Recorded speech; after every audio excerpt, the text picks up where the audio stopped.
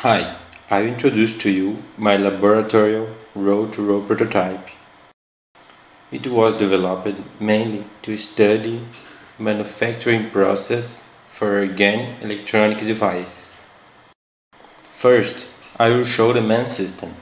It's composed basically by two rolls, where the substrate is in loop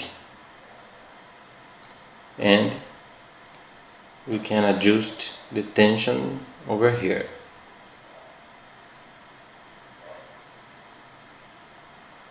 The drying system is composed by a copper hot plate.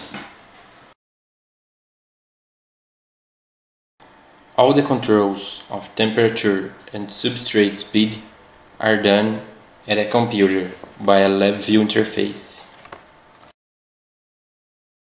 Now I will show the coating systems we have at the equipment.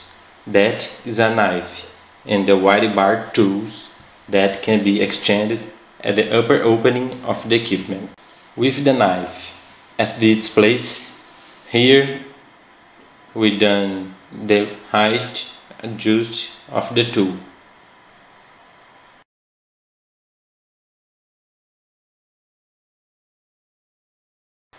We also have a slot die coating.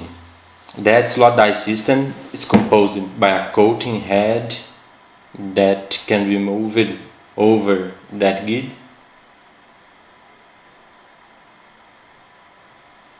and a syringe pump that controls the ink output rate.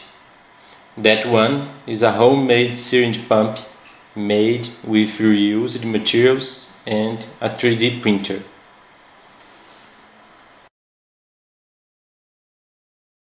To finish, let's demonstrate the slot die system at work.